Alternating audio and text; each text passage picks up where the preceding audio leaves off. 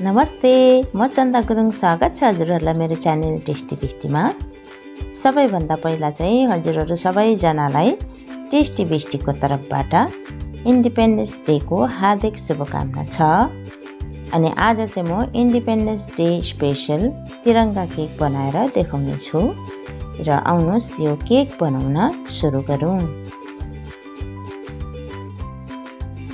यो केक बनाउनलाई चाहिँ मैले एक कप मैदा हाफ कप पिसेको चिनी एक teaspoon baking powder half teaspoon baking soda अनि वान फोर टिस्पुन चाहिँ नुन र अब यसलाई मजाले चालिदिउँ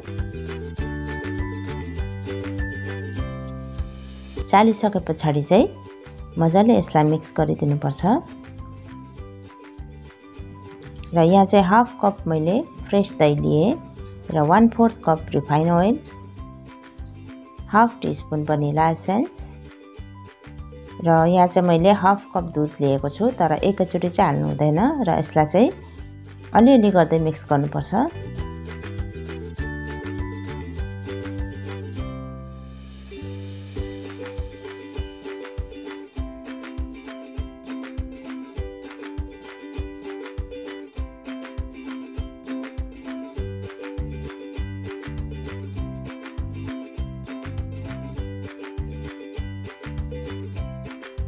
र ब्याटरको कन्सिस्टेन्सी चाहिँ यतिकै हुनुपर्छ।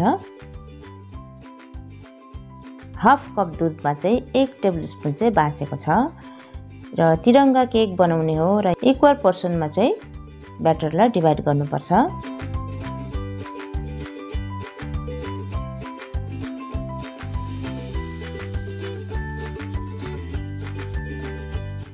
र एउटा चाहिँ सेतै रहनु दिनुपर्छ र एउटामा ग्रिन फुड कलर हाले। अलिकति।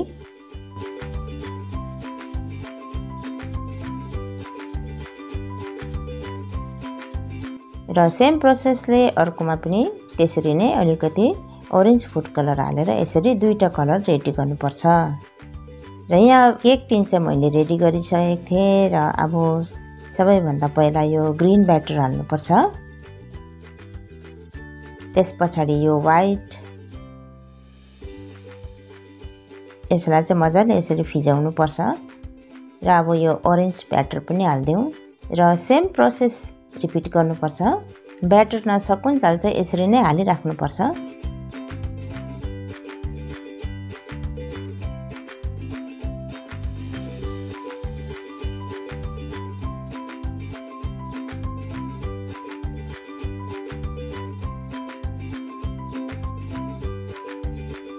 र एक दुईपल्ट ट्याप ट्याप गरेर चाहिँ यसमा यो टुथपिकले चाहिँ यसरी हल्का डिजाइन बनाउँदा चाहिँ अलिकति राम्रो देख्छ।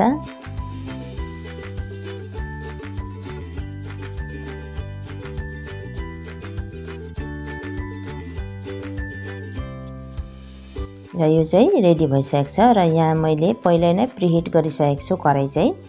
र कराई स्ट्यान्ड राखेर चाहिँ हामीले चाहिँ यो केक टिन यसरी राखिदिनुपर्छ अनि छोपेर चाहिँ यसलाई लो टु मिडियममा तिस पैँतिस मिनट चाहिँ यसलाई बेक गर्नुपर्छ।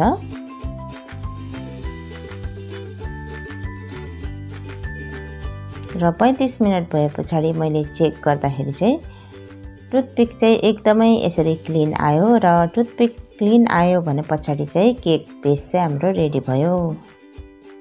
र अब यसलाई निकालेर चाहिँ सेलाउनु दिनुपर्छ र माथिबाट चाहिँ यसरी लुगाले छोप्नुपर्छ।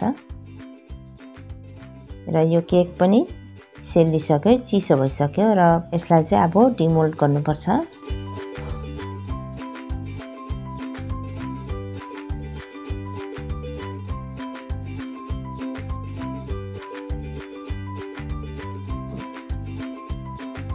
र हेर्नुहोस् केक चाहिँ एकदमै सफ्ट भएको छ। र यहाँ हेर्नुहोस् माथिको जाली। हेर्नुहोस् माथि पनि कतिको चाहिँ एकदमै जालीदार बनेको छ हाम्रो केक चाहिँ। र अब यसलाई चाहिँ म चाहिँ तिनवटा पार्टमा डिभाइड गर्नेछु र साइड साइडबाट चाहिँ यसरी छुरीको हेल्पले कट लगाएर चाहिँ यसरी धागोले काट्दाखेरि चाहिँ एकदमै राम्ररी काटिन्छ।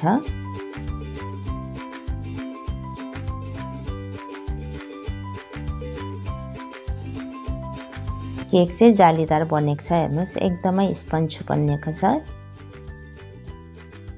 र सेम प्रोसेसले मैले चाहिँ तिनटै लेयर काटिसकेँ। अब चाहिँ केक हामीले चाहिँ एसेम्बल गर्नुपर्छ र यो चाहिँ सुगर सिरप हो र यो सुगर सिरप चाहिँ मजाले यसरी लगाइदिनुपर्छ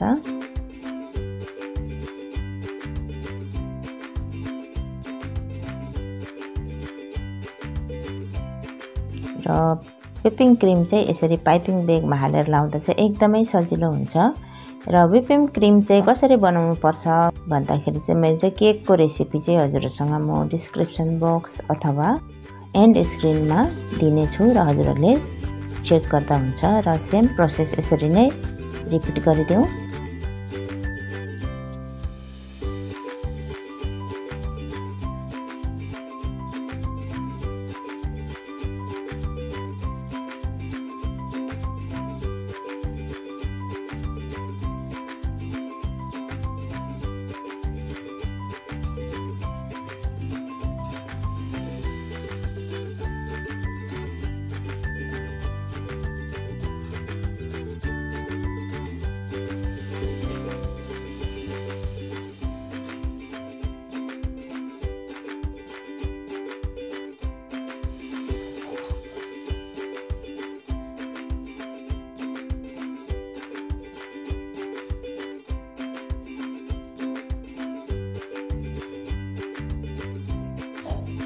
अब यो केकलाई चाहिँ चारैपट्टि यसरी क्रिमले कभर गरिसके पछाडि चाहिँ हामीले चाहिँ यसलाई चाहिँ एक घन्टाको लागि चाहिँ फ्रिजमा सेट हुनलाई राखिदिनुपर्छ।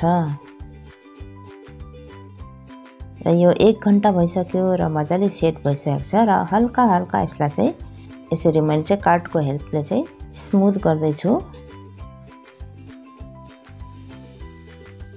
र यो स्मुथ भइसके पछाडि चाहिँ हामी चाहिँ यसलाई यो केकमा चाहिँ डिजाइन बनाउने छौँ।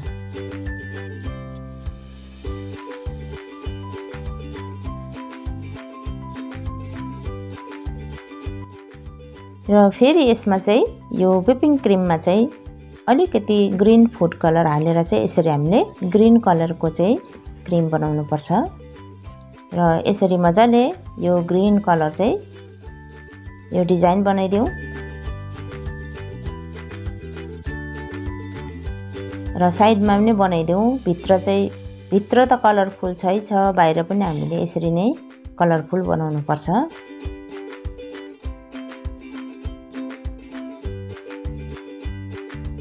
र ग्रिनले बनाइसके पछाडि फेरि वाइटले पनि बनाइदेऊ।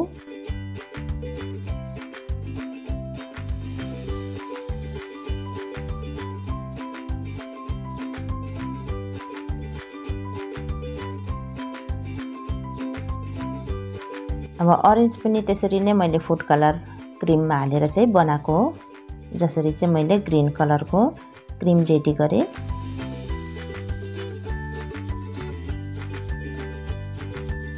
र यसै गरी सेम प्रोसेसले नै यो केक चाहिँ अब हाम्रो एकदमै रेडी भइसकेको छ काट्नको लागि। र बाहिर त मजाको कलर देख्दैछ अब भित्र पनि हेरिदिउँ कस्तो चाहिँ भएछ भनेर। ल हेर्नुहोस् एकदमै दामी कलरफुल बनेको छ हाम्रो यो केक चाहिँ र मलाई आशा छ हजुरहरूलाई मेरो यो तिरङ्गा केकको रेसिपी पक्कै पनि मन पर्यो होला भनेर। यदि मन परेमा लाइक गरिदिनुहोस् भिडियोलाई फ्यामिली फ्रेन्डसँग सेयर पनि गरिदिनुहोस्। च्यानलमा दि नयाँ हुनुहुन्छ भने च्यानललाई सब्सक्राइब पनि गरिदिनुहोस्। हवस् त फेरि भेटौँला त्यतिन्जेललाई। Happy independence day